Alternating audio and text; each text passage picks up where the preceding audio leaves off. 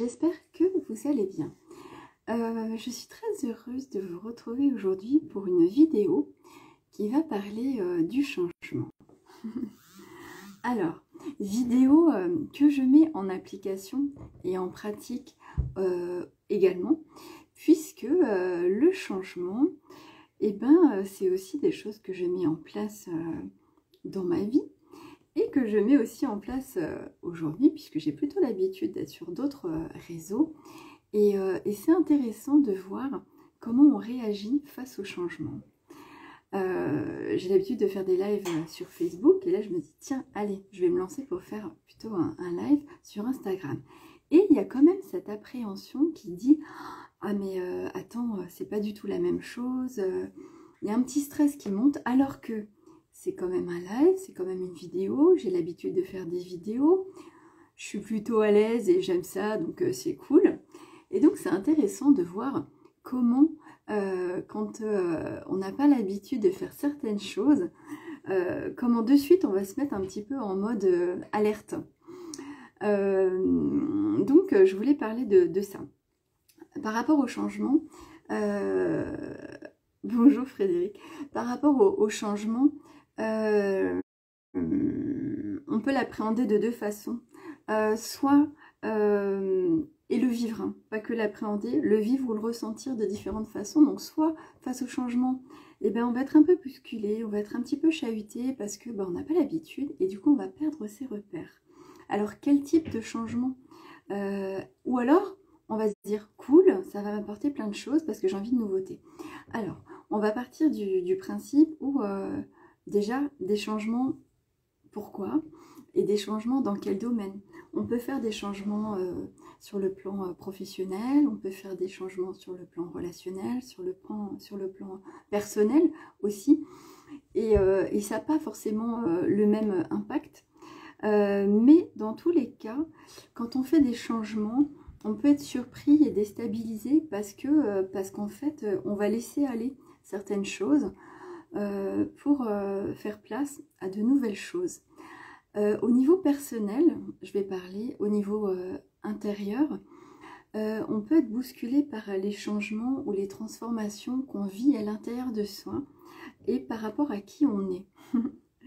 J'explique.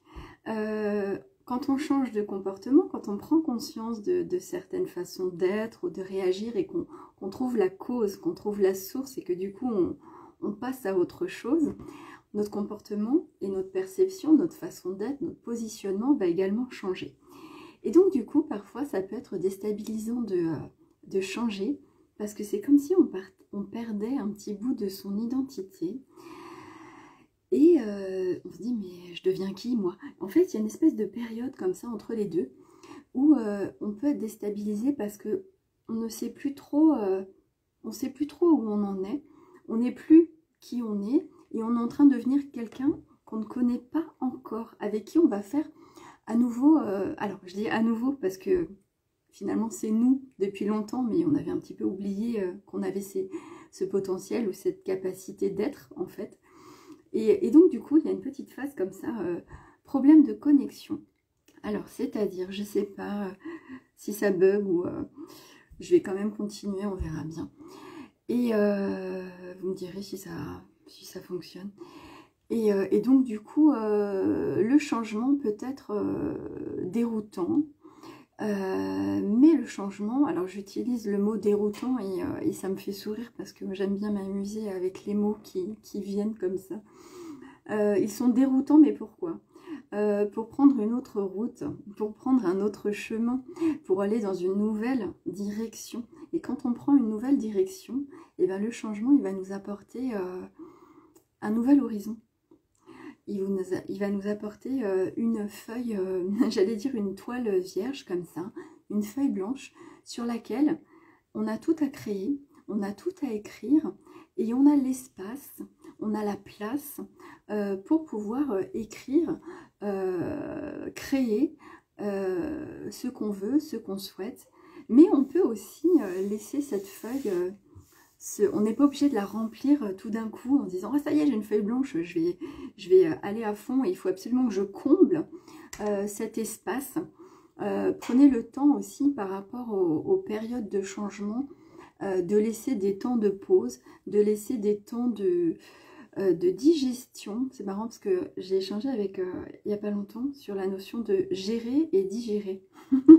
Pas gérer et en même temps digérer les choses. Il y a des temps différents. C'est comme bah, dans l'agriculture on sème, et quand on sème, on va pas récolter de suite. Il va falloir arroser, entretenir, il faut faire attention à l'environnement dans lequel on vit, il va falloir être observateur, il va falloir dire, tiens, peut-être qu'on va apprendre.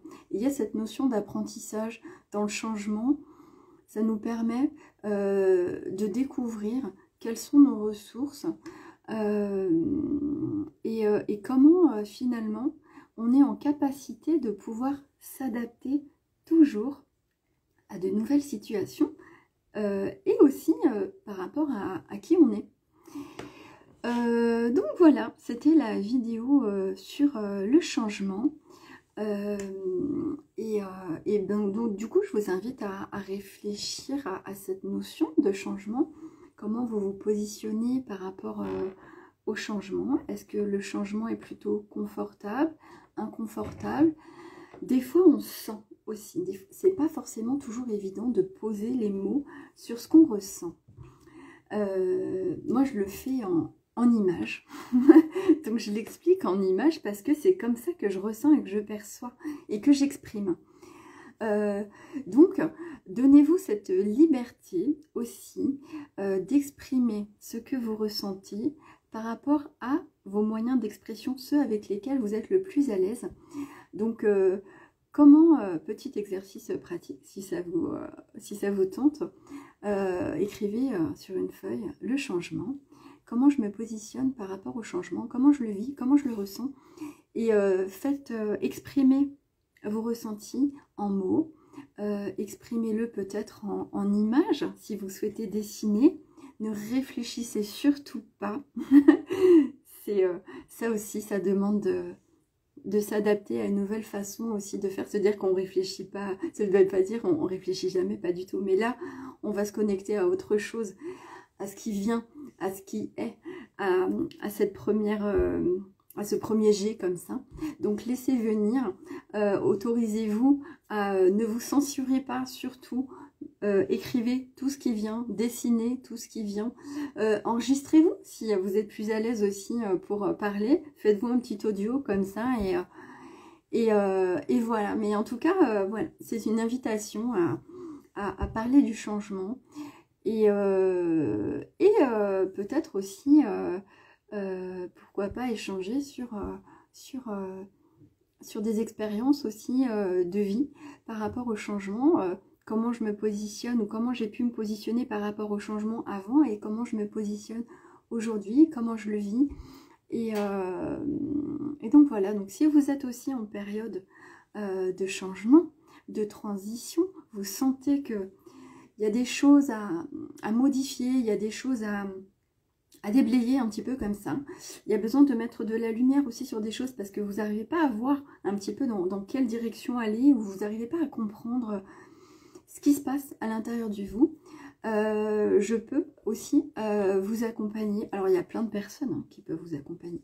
Mais euh, je peux vous accompagner en cela pour arriver déjà à poser des mots, à arriver à écouter vos émotions, en quoi ces changements peuvent vous questionner, vous bousculer émotionnellement et, les regarder avec, avec douceur ce que ça raconte et euh, sur quel chemin ça va vous mener, sachant que ça vous mène tout le temps sur votre chemin.